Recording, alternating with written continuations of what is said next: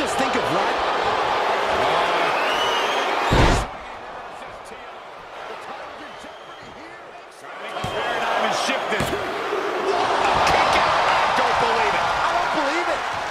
Paradigm that? By the skin of their teeth. And don't expect the champ to start going easy on him now. Hey, it might be time for a change of strategy.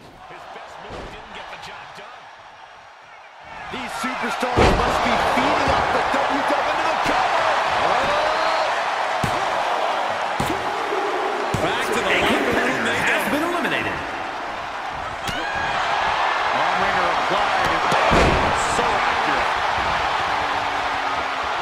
He was elusive there.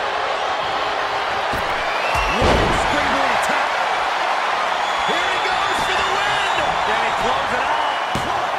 Kick out after one from the challenger. I am shaking my head in disbelief over how he managed to get the shoulder up.